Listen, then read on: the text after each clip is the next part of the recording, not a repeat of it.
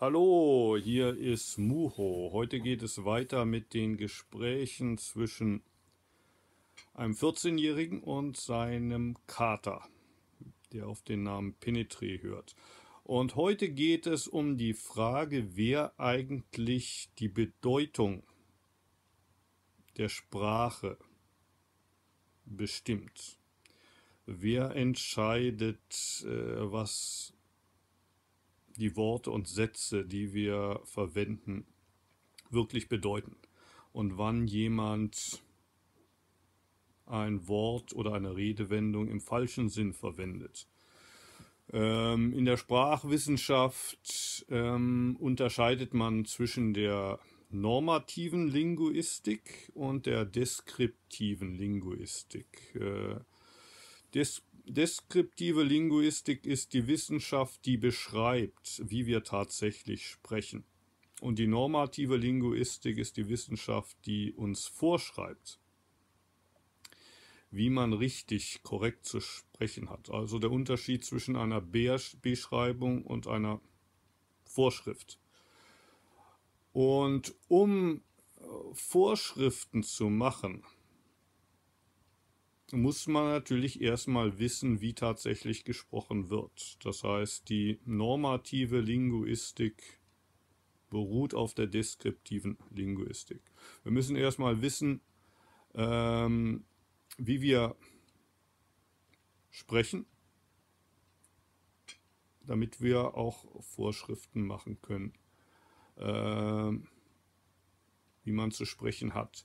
Das bedeutet natürlich nicht, dass alles, was gesagt wird, automatisch richtig ist. Dann bräuchten wir ja die normative Linguistik gar nicht, sondern es gibt manche Äußerungen, die als falsch verstanden werden. Warum ist das so? Ist die Frage, äh, über die der 14-Jährige mit seinem Kater ähm, diskutiert. Wieso ist nicht alles, was gesagt wird, automatisch richtig?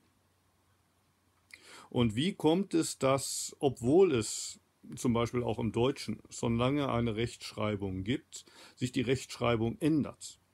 Wieso kommt es, dass was vor 100 Jahren oder 200 Jahren korrektes Deutsch war, heute nicht mehr als korrektes Deutsch gilt? Wie kommt es, dass als was falsch war, heute nicht mehr falsch ist? Wer bestimmt das? Sind das Mehrheitsentscheidungen, die da gefällt werden? Oder ist es umgekehrt eine Entscheidung, die von oben nach unten per Gerichtsbeschluss äh, gefällt, gefällt werden kann? Ähm, auf Japanisch wird da äh, das Beispiel einer Redewendung ähm, diskutiert, äh, die heißt, ähm, mit Mitleid hilfst du deinem Mitmenschen nicht. Und deren Bedeutung sich so um 180 Grad äh, geändert hat. Ähm, die beiden haben noch ein zweites Beispiel im ersten Gespräch äh, diktiert, das ich nicht übersetzt habe, weil mir nichts äh, Gutes dafür ein Ei gefallen ist. Äh, das japanische, die japanische, der japanische Ausdruck ist Ki, Kiga Okenai Hito, hm, wo sich die Bedeutung geändert hat von jemand, dem man nicht vertrauen kann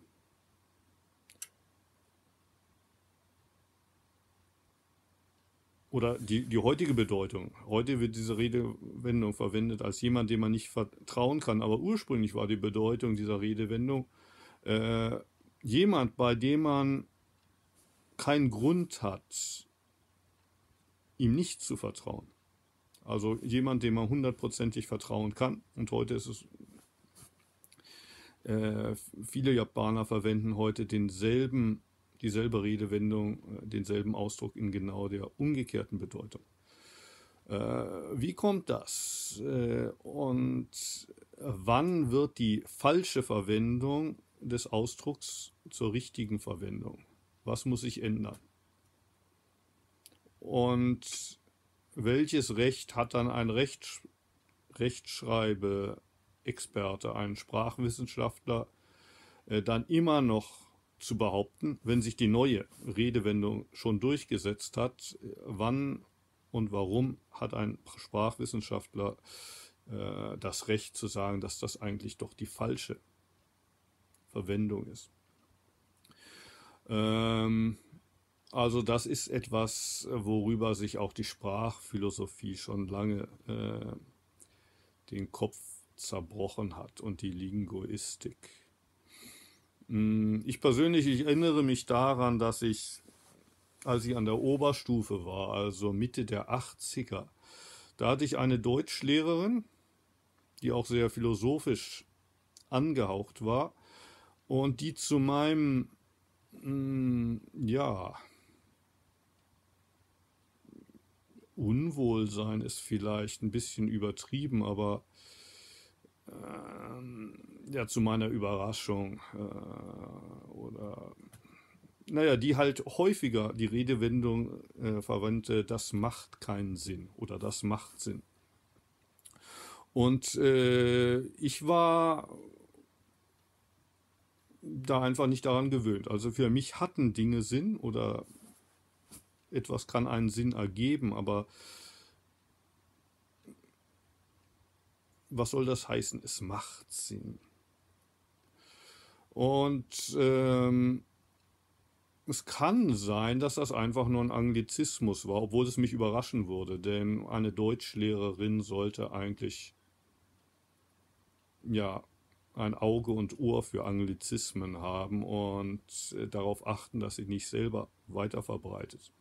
Ich habe sie jetzt nie genau darauf angesprochen, warum sie jetzt auf dieser Ausdrucksweise bestand, dass Dinge einen Sinn machen. Ähm, offenbar wird auch heute jetzt nach dem Jahr 2000 das noch im Internet diskutiert, äh, ob man das sagen soll und darf, dass Dinge einen Sinn machen.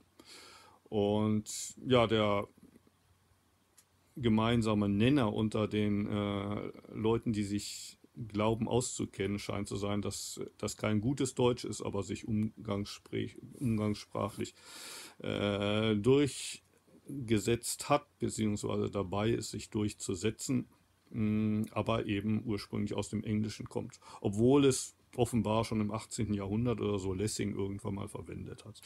Also es ist nicht so, äh, dass es die Ausdrucksweise gar nicht gäbe im alten Deutschen, aber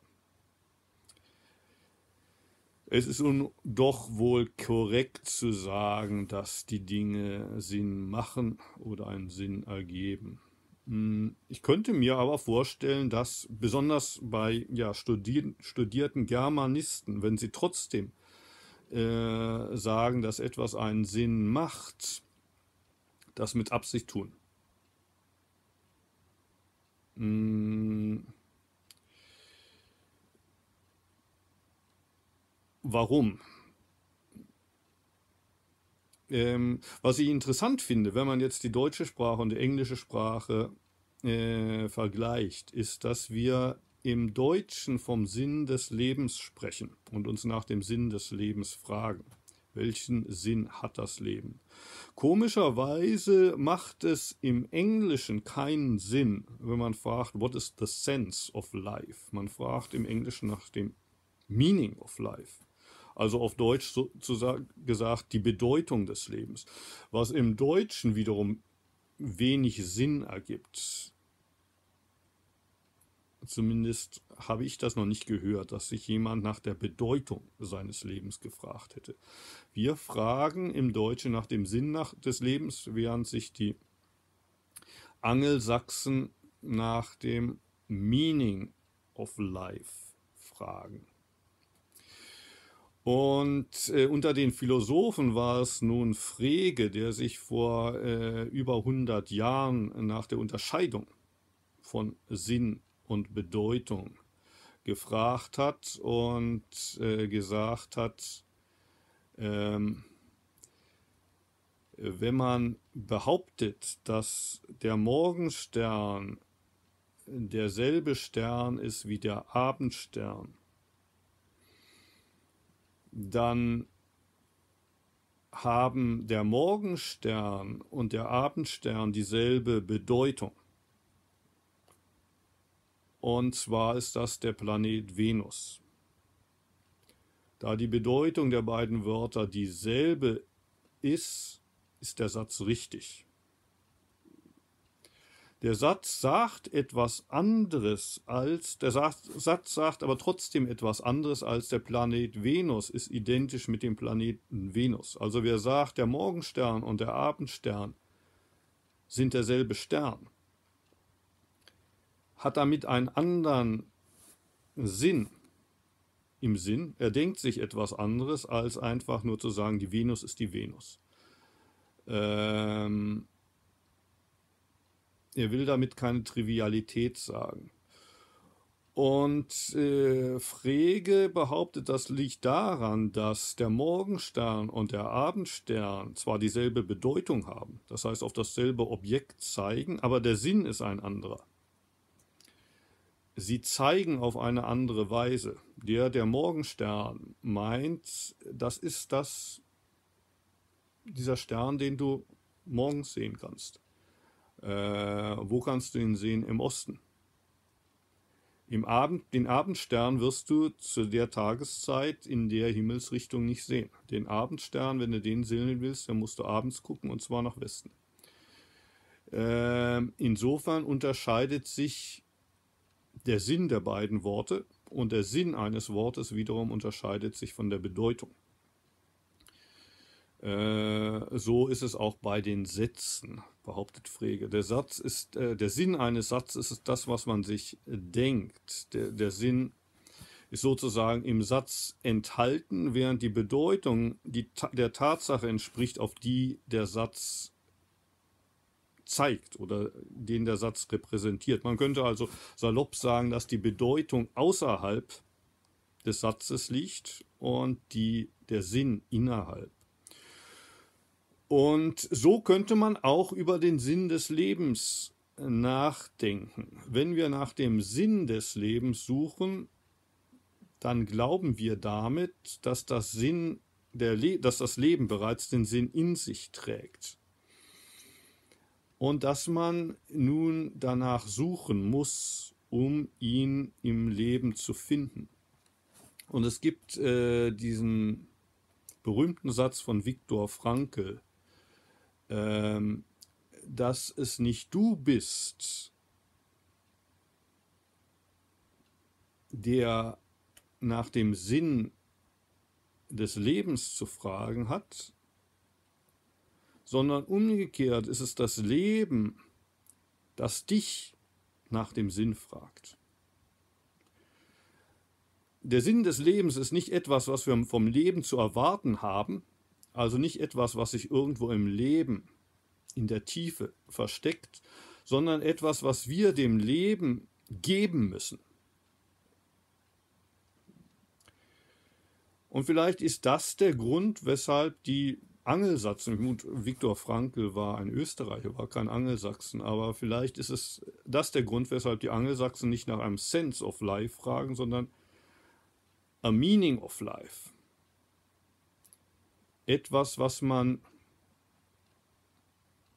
dem Leben geben kann. Und vielleicht auch deshalb der Grund, äh, weshalb meine Deutschlehrerin vor über 30 Jahren darauf bestand, dass manche Dinge einen Sinn machen oder nicht machen. Ähm,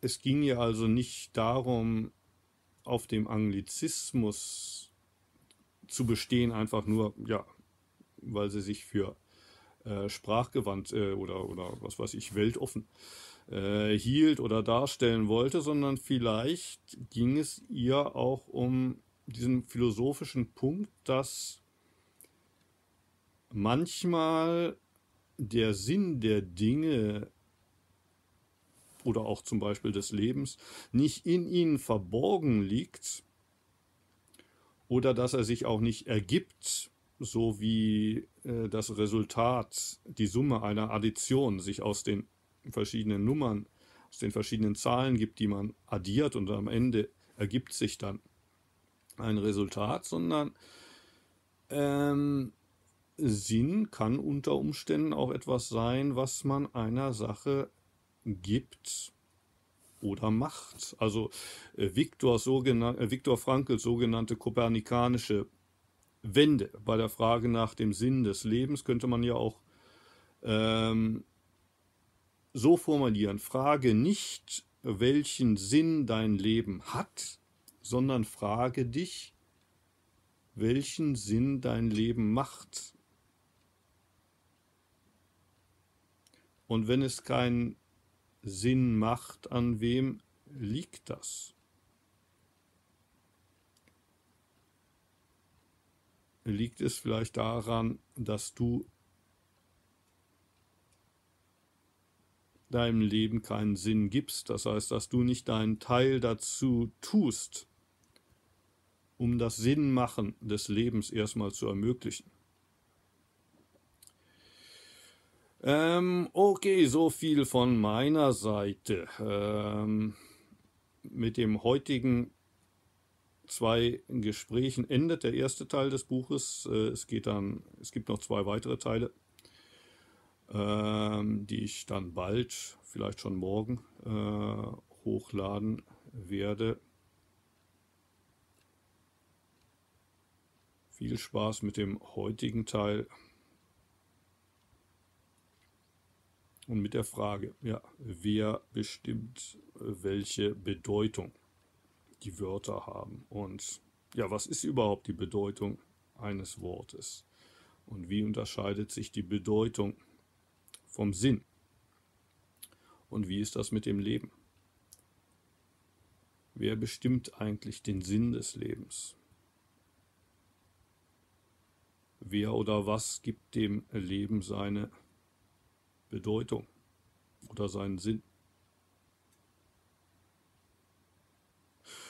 Okay, bis morgen würde ich sagen, ne? wenn ich die Zeit habe, wenn ich die Zeit finde. Und ich werde mein Bestes tun, sie zu finden. Tschüss.